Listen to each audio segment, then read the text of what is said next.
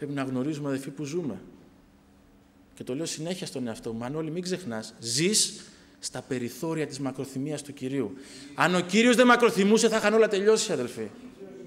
Δεν υπήρχε λόγος να συντηρεί τα σύμπαντα ακόμα ο Θεός.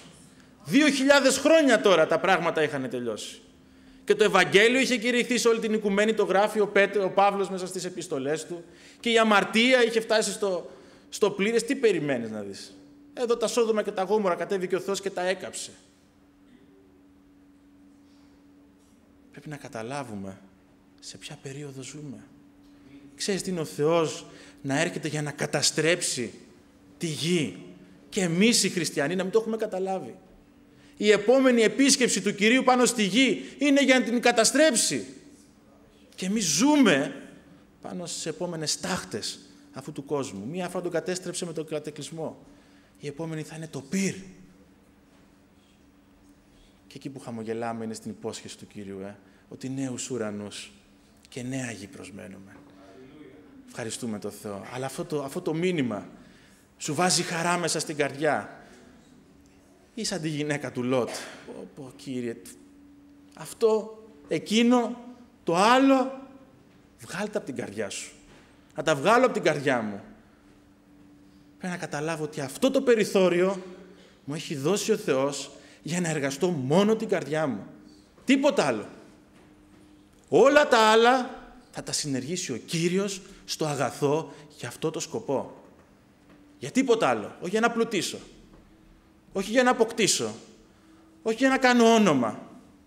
Όχι για να είμαι ένας ευπόλυπτος στην κοινωνία. Όχι για να δω τα παιδιά μου να παντρεύονται. Όχι για να γεράσω και να απολαύσω τη σύνταξή μου.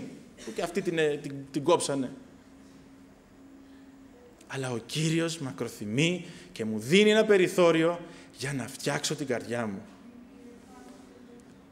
Και ο Άγιος άνθρωπος, επαναλαμβάνω αδερφοί και μου το έχει βάλει πάρα πολύ έντονο ο Κύριος στη δικιά μου την καρδιά, ένα πράγμα πρέπει να φοβάται.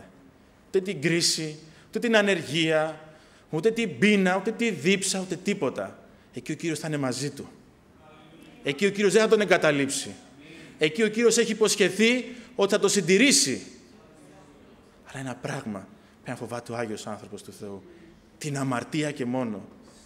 Διότι εκεί ό,τι και να έχει, έχει χάσει την παρουσία του Θεού. Τι και όλο τον κόσμο λέει να κερδίσεις και την ψυχή σου να ζημιωθείς.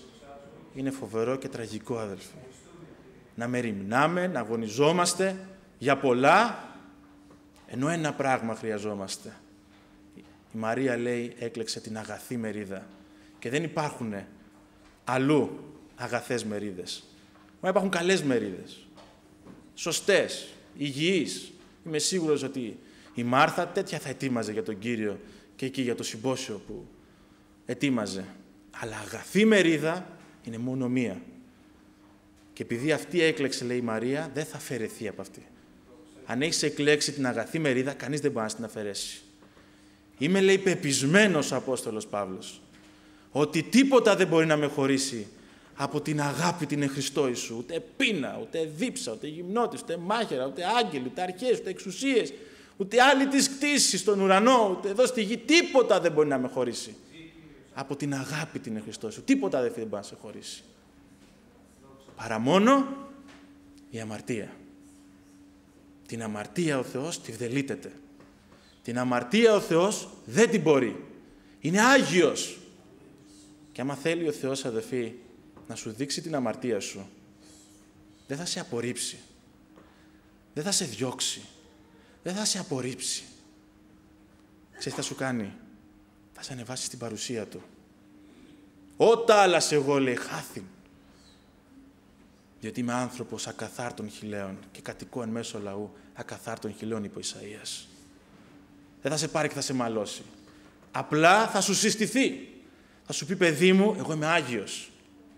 Εγώ είμαι Άγιος. Μήπως το έχει κάνει αυτό το πράγμα ο Θεός στη ζωή μου και το έχω ξεχάσει; Μήπως το, έχω, το έχει κάνει αυτό ο Θεός στη ζωή μου και το έχω λησμονήσει και έχω επιστρέψει πίσω και είμαι αμέριμνος στην Ιερουσαλήμ; εντάξει, τον γνώρισα τον Κύριο. Θα έρθει ο Κύριος, ναι, αλληλούια. Το λέω γιατί αυτά είναι πολύ ύπουλα, αδελφοί, μέσα στην καρδιά. Φύλαξέ με, λέει, από υπερηφάνειες και ας μην με κυριεύσουνε.